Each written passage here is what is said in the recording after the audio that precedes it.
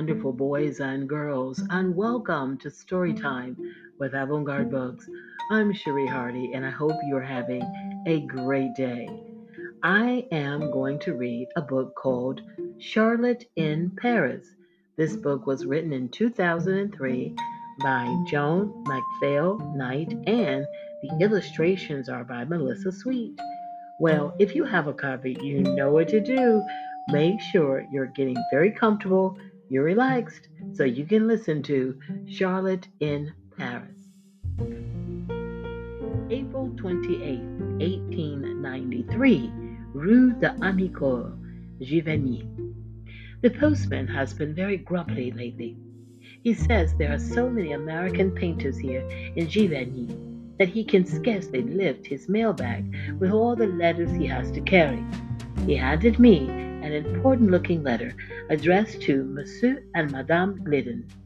When Papa came home from painting at the river, he let me open the envelope. It's an invitation to Paris. A Miss Mary Cassatt is having an exhibition. Papa says she is the most famous woman painter in all of Europe. The Fosters will be going too. Lizzie Foster is my best friend. When Papa decided to come to Giverny a year ago, Liz and I missed each other so much. Then Mr. Foster decided he also wanted to learn the new French way of painting called Impressionism. So the Fosters have come to Giverny and rented a house right down the street from us. Last night we had our neighbors, the Perrys, to dinner to meet the Fosters. Edith Perry is my age, and she has a little dog named Degas, just like my dog, Toby. Ramond set the table out in the garden and cooked a special dinner of tiny roast hens with their feet tied together. For dessert, we had tarte tatin, a delicious upside down apple cake. Edith and I told Lizzie all about our famous neighbor, Monsieur Monet. When we got to the part about the water garden and the Japanese bridge, Lizzie had to see for herself. She climbed the garden wall and crept along the mossy stones past Monsieur Monet's hothouse to the bamboo forest until we could see the jazz Japanese bridge, and Monsieur Monet could see us. we had such a fright we fell to the ground. I hope Mama never finds out about this. She always tells me to mind my own affairs. May 20th, 1893, De Amicourt, Giverny. This morning I sat in a green field and painted a picture of bright red puppies. Then I saw something I had never seen before. Fifteen or twenty ladies riding bicycles down the middle of the road. Toby ran after them, barking, and disappeared in the cloud of dust the bicycles made. I was glad when he came running back to me a dusty little ball of fur.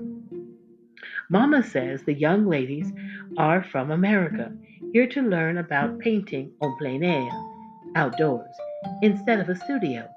But she thinks they are more interested in young men and lawn tennis than they are in art classes.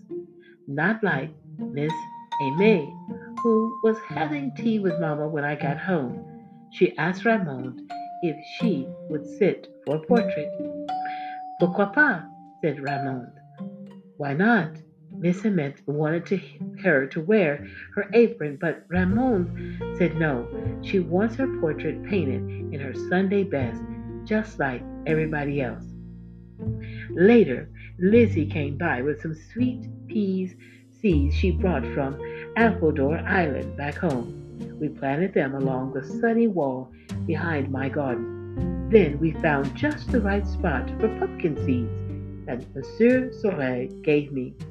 He is the best gardener in the world and knows everything there is to know about a vegetable garden, a potager, as he calls it. On the seed packet it says, Rouge vif d'étampes. I have never heard of bright red pumpkins before. I can't wait to see them. June 10, 1893, Rue de Amicourt, Giverny. When I looked out my window this morning, I counted 22 workmen digging at Monsieur Monet's garden. Monsieur Sorel says the water garden is taking more time and money to build than Monsieur Monet thought it would. The cowherds say his new plants are poisoning the water. Monsieur Sorel thinks cowherds should concern themselves with cows, not the affairs of le grand maître, the great master. Mrs. Perry says Monsieur Monet is the finest landscape painter in the world. No one can paint water, and the way light falls on it, the way he can. Is that what the water garden is for? I wonder. For painting? Or is it to put pike fish on the table, as Monsieur Sorel thinks? My tutor, Mademoiselle Berthoud, came today. She said, I spend so much time looking out the window at the water garden, I should learn the French words for what I see there.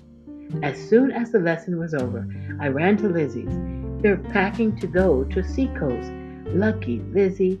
I wish we could go along, but Papa says there is far too much to do here in Giverny. Tant pis. Too bad. Lizzie promised to bring me back a bucket full of seashells.